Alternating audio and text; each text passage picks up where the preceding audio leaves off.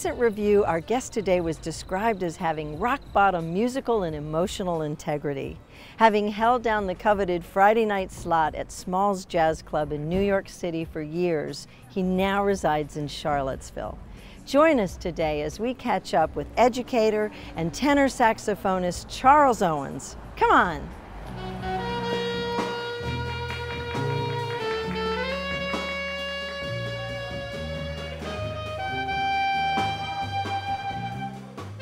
Charles, how old were you when you started playing music?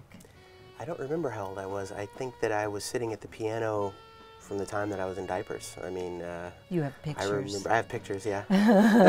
I remember very distinctly sitting at the piano when I was really, really small and just being fascinated by the way two notes or three notes or four notes sound at the same time by the chords. And my parents are great in that sense of they just let me sit and play and You just, just did. wow. And then, Yeah. how old were you when you fell in love with saxophone? When you chose, and and why did you choose the saxophone? Well, uh, I was eight, and there was an assembly at my elementary school, and they had one every year, and the band teacher would line up all the instruments on the table, and uh, he picked up the tenor sax, and I think at first I was struck by how many buttons there were on it, and like how complicated it looked, and how complex and mysterious it looked. And then also, the thing that really got me was the curve of the neck, this curvature of this neck right here. The way it curved around was just very attractive to me. And I wanted to be closer to the instrument and just like really see how it worked.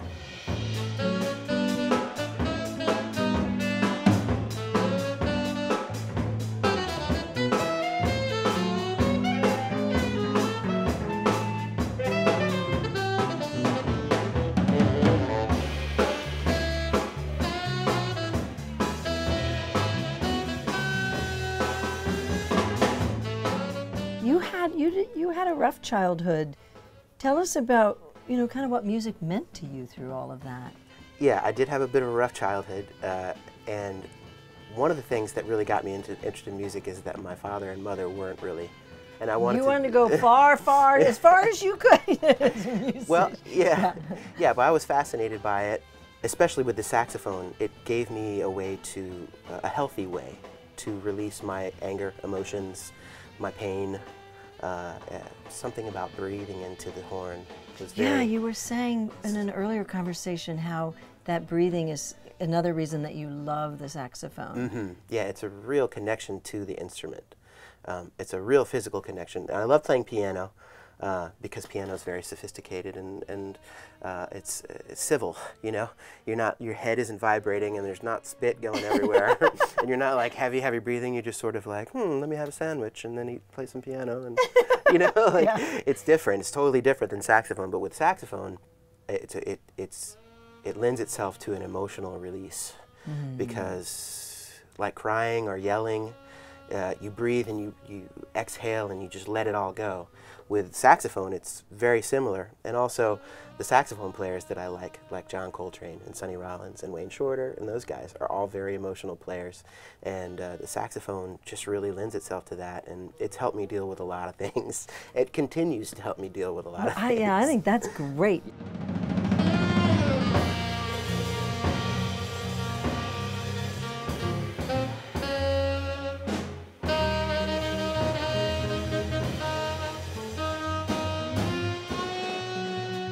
I went to Duke Ellington School for the Arts in Washington, D.C., uh, near Georgetown, near Georgetown University. And I also went to New World School of the Arts in Miami, set in downtown Miami.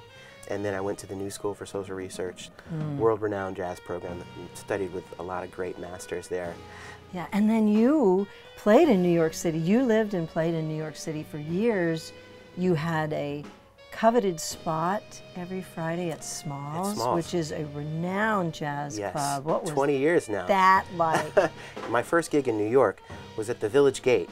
oh, which was, you know, it was a boon for me. You know, Right, uh, there was a. Sunday afternoon jam session at the Village Gate, and that's where I met everybody. yeah. And then the Village Gate unfortunately closed, so that Sunday session moved to Smalls, and that was my first gig at Smalls, the Sunday jam session that was run by the New School, and that became my home. Uh, Literally. yes, You literally. lived there for a while. I did. I, I uh, slept in a very small room that was big enough for a futon and a radio. And my only responsibilities were to play saxophone and to work at the door at Smalls to help pay my rent to, from living there. And then Wow. to write music, and that wow. was it. and now, okay, so now you and your now wife and your two beautiful daughters live here in this Mhm, area. in Charlottesville. And you tour, you play Charlottesville, Richmond, D.C., New York. Mhm. I still go to Um, Smalls uh, three or four times a year to play. And, and how many albums do you have now? Five albums, and I just recorded a new one yesterday. We did 10 songs in five hours, which is seems crazy. Yeah, a little, uh huh. But I like to record that way. The way I do it is I get a new band and I pick repertoire, and then I get gigs, and we go and perform these rep- these gigs, uh, this repertoire at these gigs, and then after a year or so, it's been a year and a half since I've had this quartet. We go in and we play them all right in succession, as if we were just playing another gig.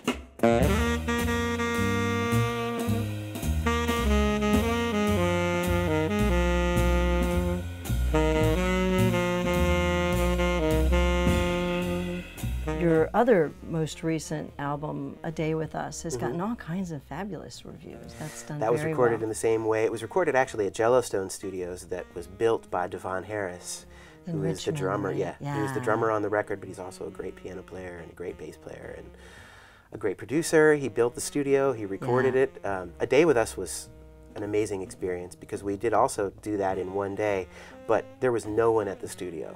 It was just us three. Devonne would literally go to this control room, hit record, come back, get on the drums, and then we'd count it off and then do- a take. So it was a special record, and, and the critics really did like it, and Yeah. uh, I'm very proud of it. The other thing I think you should be really proud of is the fact that you're such a great educator in the community. You. And you work with, you have a lot of private students, you teach saxophone theory is a big one, you teach voice, you piano, and you work with high schools. You work with Albemarle High School Yep. jazz kids. What is your best piece of advice that you like to give your students? The thing that has served me best in my life is my ear and my instinct. The saxophone being such a new instrument, it's not included in any of the classical repertoire. So saxophone repertoire and saxophone as an instrument have to be approached differently when, from an educational standpoint. You know, your ear and your instinct is not going to be 100%, but it, if you nurture it and nurture the connection between your instinct and your ear and learn to trust it, Yeah. then it will never let you down after a certain point. Yeah. Okay, so show us, you play a lot of jazz, mm -hmm. funk, Yes. rock. Some, yes. Mhm. Um, give us an example. Play just play a little something. Play, Oh. play some jazz, Some jazz? as you like to say, jazz, Sure. and do a little of that improvising that you were talking about. Of course. Of course, we have no band, but you don't need a band.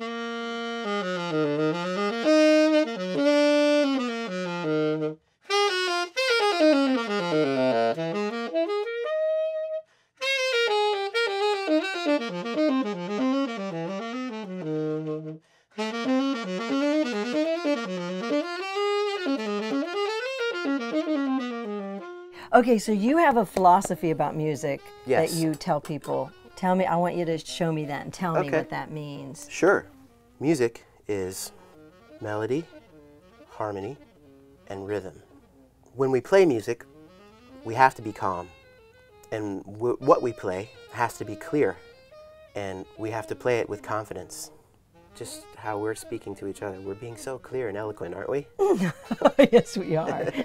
uh, and so and that's important we have to we have ideas that we want to get across i mean the reason i'm an artist the reason i'm a musician is i want to make my fellow humans feel something that they weren't expecting to feel you know so we have to be clear about it if we're standing up in front of a big crowd of people or even just by ourselves or even uh, one or two people in the audience think if martin luther king was like i have a dream you guys he, would, says i have a dream co-" so we have to be really confident you know so we're calm we're playing clearly we're playing confidently. We have melody, harmony, and rhythm mixed. From where do we gain our inspiration to play this music? We gain it from our spirituality, our intellect, and our passion. And that's really one of the things that will make the audience feel. If you really believe what you're doing, then they will believe it. They will love it. And then when we do that, we have to take stock all the time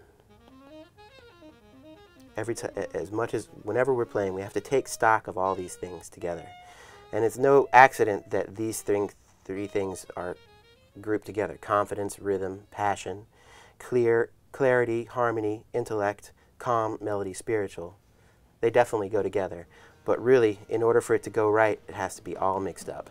Yeah. And you have one. The artist has to ask themselves, "Am I? Is this a, a balanced mix of all these things?" And if it is, then your audience will have no choice but to love you.